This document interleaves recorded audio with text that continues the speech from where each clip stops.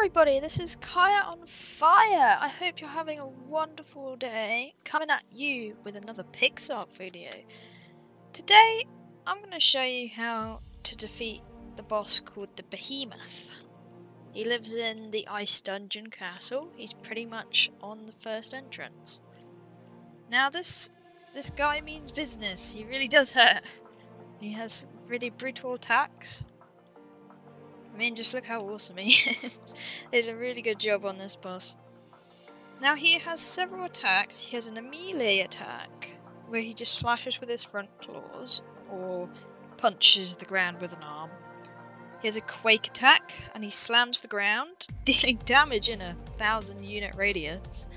So he's, he's pretty badass, and the fact that he's trapped in this tiny little room and you're only really given one option, this front door to defeat him, eh, it's something. We also have some other attacks, power attacks, rockfall attack how, but there isn't really much information on that at the moment. But yeah, I will show you one of the best ways to kill him, solo.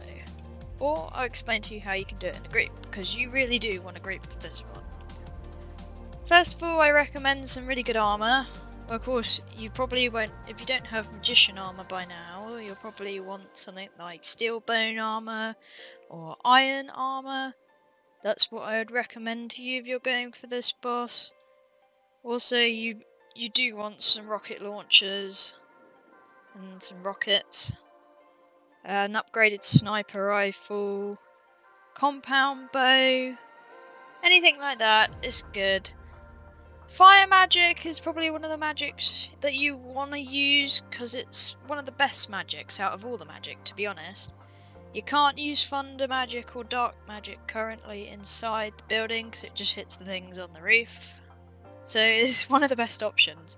If that's too expensive for you, then you can always go for wind magic, which is really good as well. It does lower damage, but it's more over time, so it'd be like 30, 30, 30, 30, and that will pretty much be it. If you have a team with you, then you're going to want to have someone with light magic, because that heals. it's really good healing, currently. What you'll want definitely is a lot of beds. I only have two, but probably want a bit more beds than that. Because he will kill you. it's inevitable with this guy. So, I'm just going to show you what a few of these things do and hopefully I won't fail miserably. Fire magic. Now you would stop moving. There.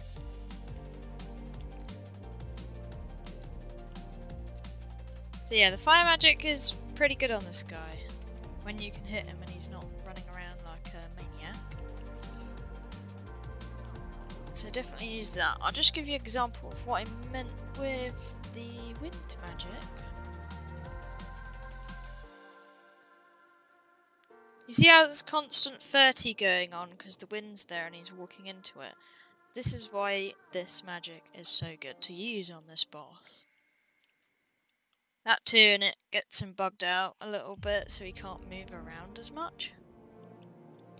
But my personal favourite for this is definitely the fire magic.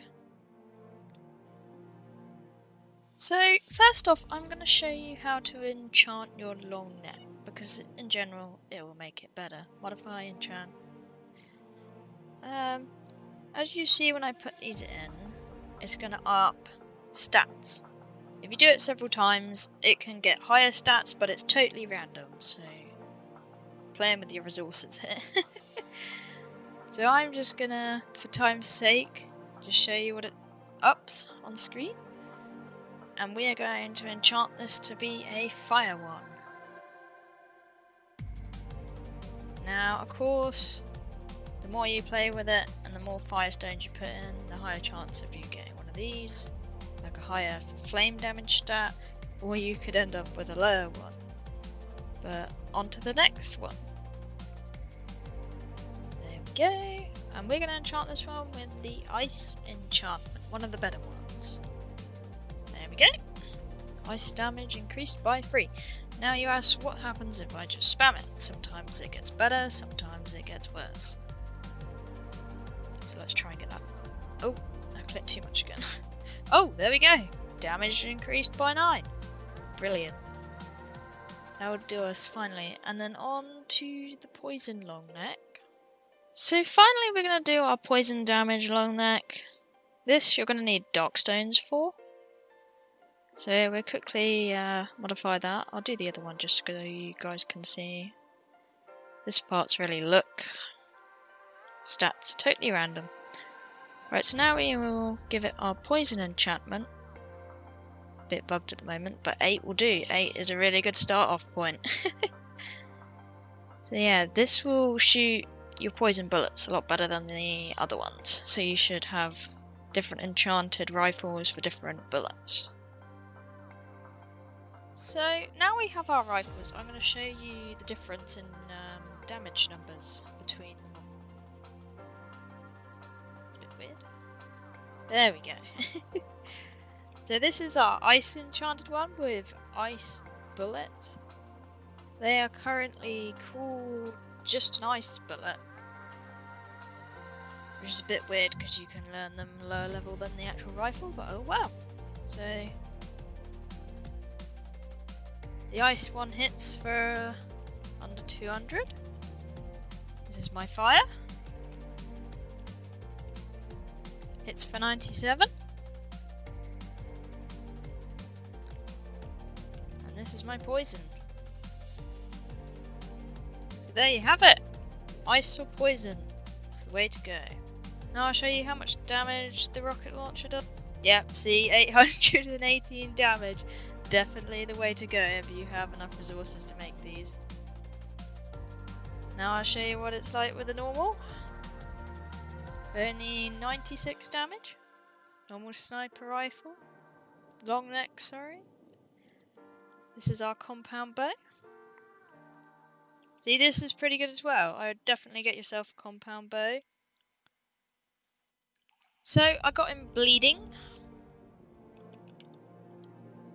He's gone a bit more erratic now with his running about. If you want to be brave with this, you can always set up stone blocks on the inside a bit more to try and stop him to do that.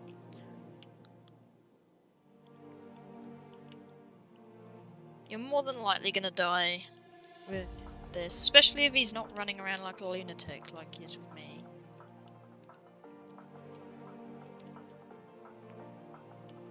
Apparently he doesn't seem to want to attack me. There are also other corridors you can do this in, in the boss building, but I always find the main entrance is better, because you can just set up everything outside. It's more convenient. So I'm just gonna keep murdering him now. So you'll notice towards the end where he's dying a little bit more, he'll do this buff, and you won't be able to hit him for as much damage as you could before. So you'll want to keep shooting him quite rapidly.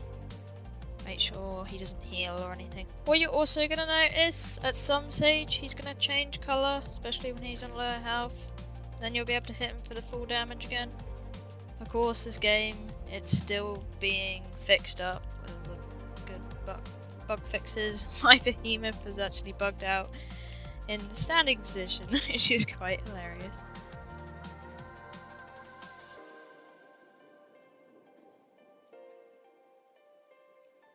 And there you have it! One dead boss. Now his uh, his loot is alright.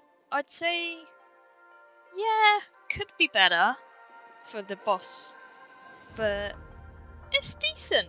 It's decent. I do think it needs a little bit more, if you know what I mean.